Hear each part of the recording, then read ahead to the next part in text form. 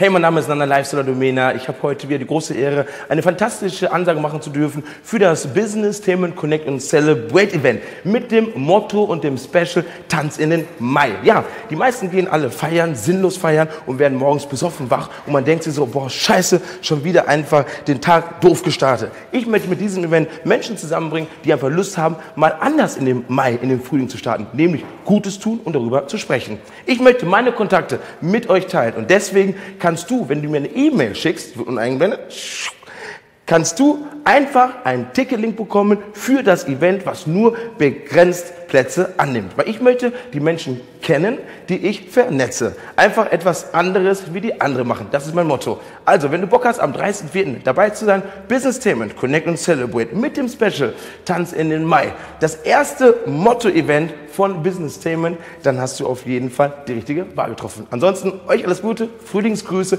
hier direkt vom Dom.